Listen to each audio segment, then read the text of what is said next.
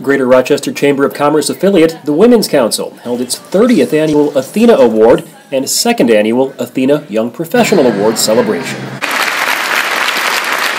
The Athena Award went to Center for Youth Executive Director and Rochester City Councilperson Elaine Spaull.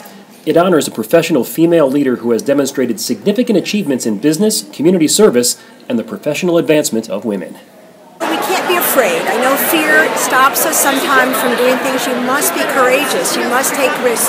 We have choices. We can make it easy on ourselves or we can take it on. And we've got to take it on.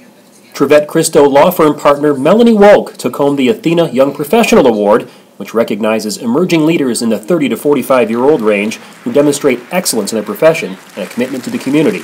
She had a message for up and coming women leaders. Just go for it that, that just go for it. Even when uh, you don't think you have the time or whatever it is doesn't fit within your business profile or doesn't fit in your, your social network, just go for it because if it's important to you, you will succeed. For more on the Athena Awards recipients and finalists, visit GreaterRochesterChamber.com. I'm Dan Smith.